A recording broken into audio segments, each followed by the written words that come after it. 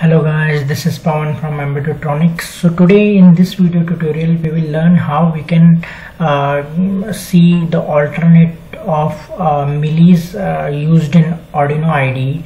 So here we will learn how we can get the result in microseconds from the um, from the start um, means uh, from where the program starts till that time millis will get the result of my value in microseconds. So same way here one uh, timer is there which will run in this uh, case uh, which will result which will give you uh, the value uh, in microseconds from the start of the program. So here you don't need to initialize any timer. So what will you do? We will just first create the project file and specify the project and we'll give it, give it a name millis in ESP IDF so here next and then finish. So here uh, this is a template project we get. Now in this case we'll just write something. So here we'll give write printf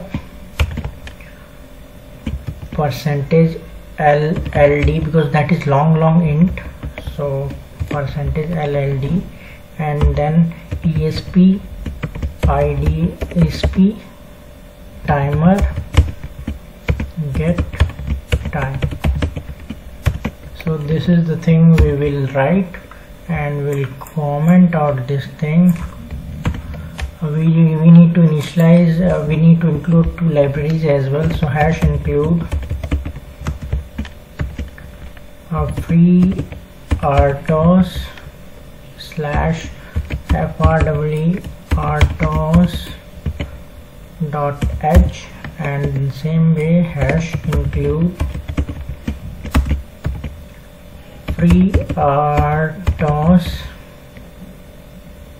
slash timers for timer dot h.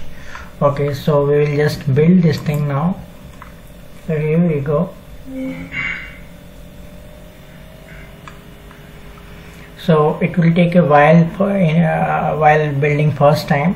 So we'll just pause the video for a while and uh, we'll just come uh, here uh, and uh, we'll dump this code to our ESP32 and we'll see the timer value which is in microseconds. So here it started. Now we'll just pause the video for a while. Okay so it's just getting uh, completed uh, the compilation process process. You can see here C, C plus indexer is 38 percent. So when it will just complete 100 percent so these errors will be removed. So uh, we will just after that we will just uh, dump this code uh, to our Espressif ESP32 WROOM development kit. So let it complete.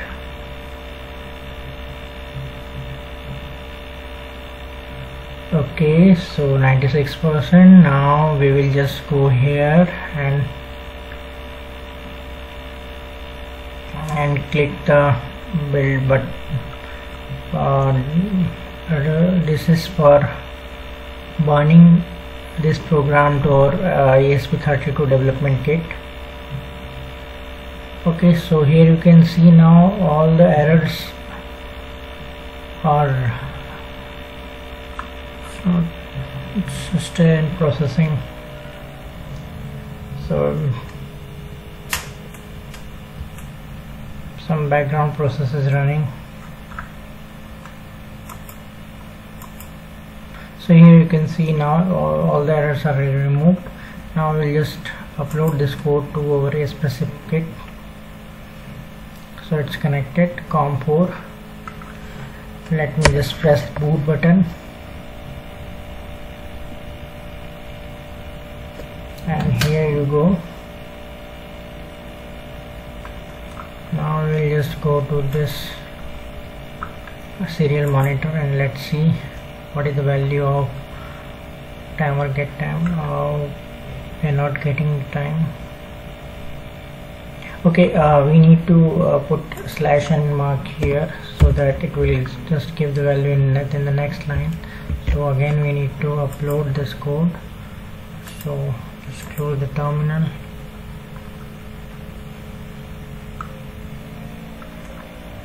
and uh,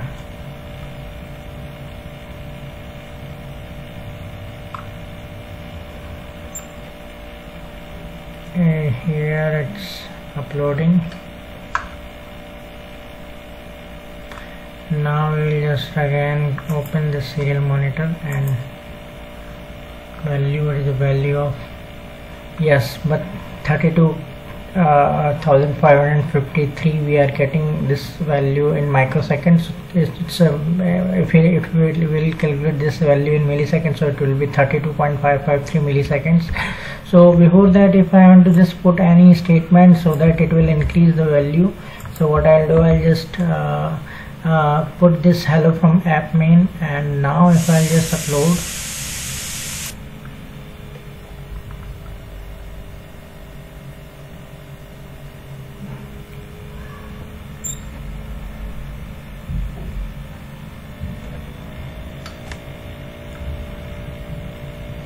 now we'll just open the serial monitor.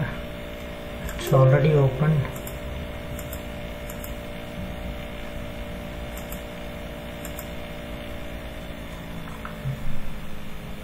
So here you can see now hello from app main and then value is increased by uh, some of uh, the uh, numer numericals like 34210 last time it was 33553 so uh, we got uh, near about one millisecond value. Uh, we we got more uh, in this case. So I, I hope I hope uh, you understand.